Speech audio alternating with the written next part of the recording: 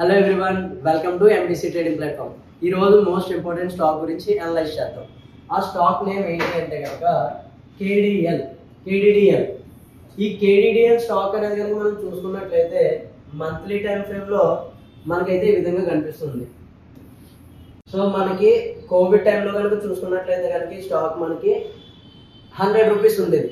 Hundred rupees నుంచి కంటిన్యూస్గా market అనేది ర్యాలీ చేసుకుంటూ ఈ రోజు ఉన్నటువంటి ప్రైస్ అని చూసిన చూసినట్లయితే almost two eight six zero దగ్గర స్ట్రీమ్ అవుతుంది. బట్ దీని యొక్క హైయెస్ట్ ప్రైస్ అయితే three thousand eight one two levels వరకు కూడా రీచ్ అయింది.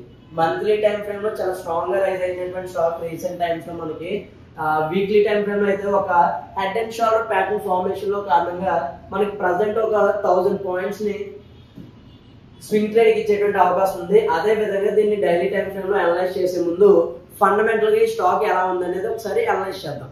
సో ఈ కేడిడిఎల్ అనే స్టాక్ ఏదైతే ఉందో ఇది లగ్జరియస్ వాచెస్ ఏవైతే ఉన్నాయో వాటి యొక్క డైల్స్ని తయారు చేసేటువంటి కంపెనీ సో దీని యొక్క మార్కెట్ క్యాపిటలైజేషన్ వచ్చేసరికి double three seven one CR కింద కనిపిస్తుంది ఈపీఎస్ అయితే eighty one point nine zero P రేషియోలో three six point thirty six point four nine కింద చూస్తుంటే బుక్ వాల్యూ చూడండి almost five five eighty one industry PE చూసుకున్నట్లయితే sixty three ఉంది.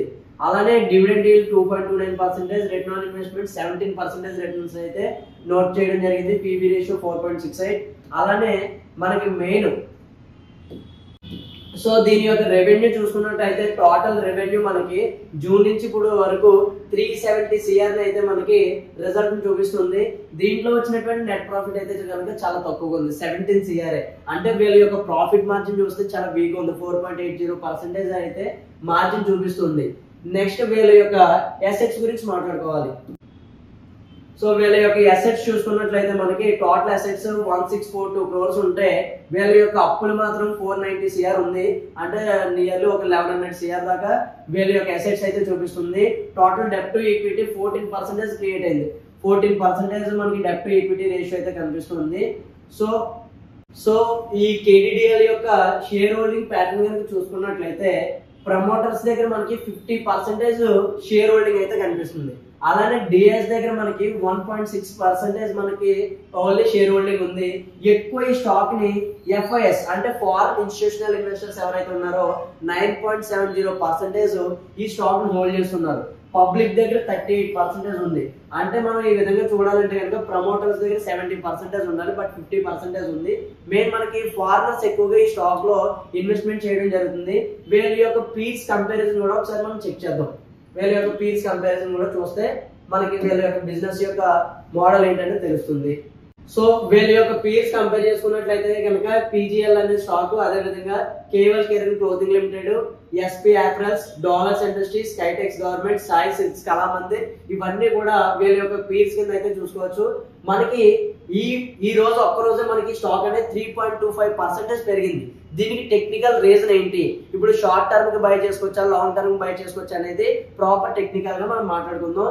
ఈ రోజు మనకి eighty nine పాయింట్స్తో two eight three zero levels దగ్గర మంచి బ్రేక్అవుట్ అయితే ఇండికేట్ చేయడం జరిగింది.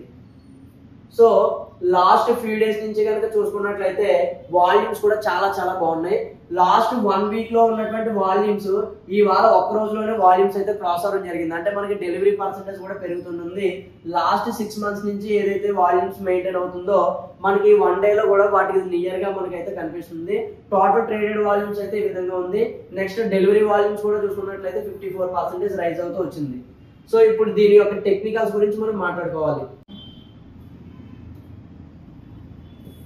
సో ప్రజెంట్ ఈ స్టాక్ కనుక చూసుకున్నట్లయితే కనుక టెక్నికల్గా మనకి ఒక ఫాలింగ్ వెజ్ ప్యాటర్న్ అనేది అంటే ఒక బేర్ స్టాండ్ నుంచి బుల్ స్టాండ్కి రివర్సల్ అవ్వబోతుందని తెలియజేసేటువంటి ఒక ఫాలింగ్ వెజ్ చార్ట్ ప్యాటర్న్ అనేది క్రియేట్ అయింది. సో ఈ చార్ట్ ప్యాటర్న్ ప్రకారం హైయర్ లెవెల్స్ నుంచి రిజెక్ట్ అయ్యి హైయర్ లోస్ని క్రియేట్ చేసుకుంటూ మనకి ప్రజెంట్ ఉన్నటువంటి రేంజ్లో అయితే కనుక ఈ ఫాలింగ్ వెడ్జ్ ప్యాటర్న్ అనేది బ్రేక్అవుట్ అయింది. ఈ ఫాలింగ్ వెజ్ ప్యాటర్న్ బ్రేక్అవుట్ అయిన కారణంగా మనకి ఎంట్రీ లెవెల్స్ అయితే ప్రజెంట్ మనకి యాక్టివ్ అయ్యాయి. సో ఈ లెవెల్స్లో కనుక మీరు ఎంట్రీ లెవెల్స్ తీసుకొని స్టాప్ లాస్ స్ట్రిక్ట్గా మెయింటైన్ చేసుకోగలిగితే nearly thirty to forty percentage returns అనేది మనకి స్వింగ్ ట్రేడ్ నుంచి షార్ట్ టర్మ్ ట్రేడ్ వరకు కూడా వచ్చేటువంటి అవకాశం ఉంది. సో ఈ స్టాక్ని ఎవరు కూడా టెక్నికల్గా బాగుంది కాబట్టి మిస్ చేసుకోవద్దు. ఒకవేళ ఎవరైనా షార్ట్ టర్మ్లో ట్రేడ్ చేస్తాను ఒక మంచి రిటర్న్స్ని ఎక్స్పెక్ట్ చేద్దాం అనుకుంటే. కనుక ఒక థర్టీ టు ఫార్టీ పర్సెంటేజ్ అయితే రిటర్న్స్ ఎక్స్పెక్ట్ చేయొచ్చు. Three thousand eight hundred levels వరకు కూడా ఈ కేడిడిఆర్ స్టాక్లో మనకి టార్గెట్ అయితే కనిపిస్తుంది. సో ఈ ఫాలింగ్ ఎడ్జ్ ప్యాటర్న్ అనేది చాలా యాక్యురేట్గా సక్సెస్ అవుతుంది. ప్రతి ఒక్కరు కూడా ఈ స్టాక్ని ఇన్వెస్ట్ చేసే ముందు మీ ఓన్ అనాలిసిస్ కూడా చేస్తూ ఉండండి. మేము ప్రొవైడ్ చేసేటువంటి ఈ వీడియోస్ అన్ని కూడా ఒక ఎడ్యుకేషనల్ పర్పస్ వేలో మాత్రమే. ఎవరికి కూడా రికమెండేషన్స్ అయితే కాదు. సో దయచేసి మేము చెప్పేది క్లియర్గా విని ప్రతిదాన్ని ఫాలో అయ్యి మీ ఓన్ ఇన్వెస్ట్మెంట్స్ అయితే చేసుకునేటువంటి ప్రయత్నం చేయండి.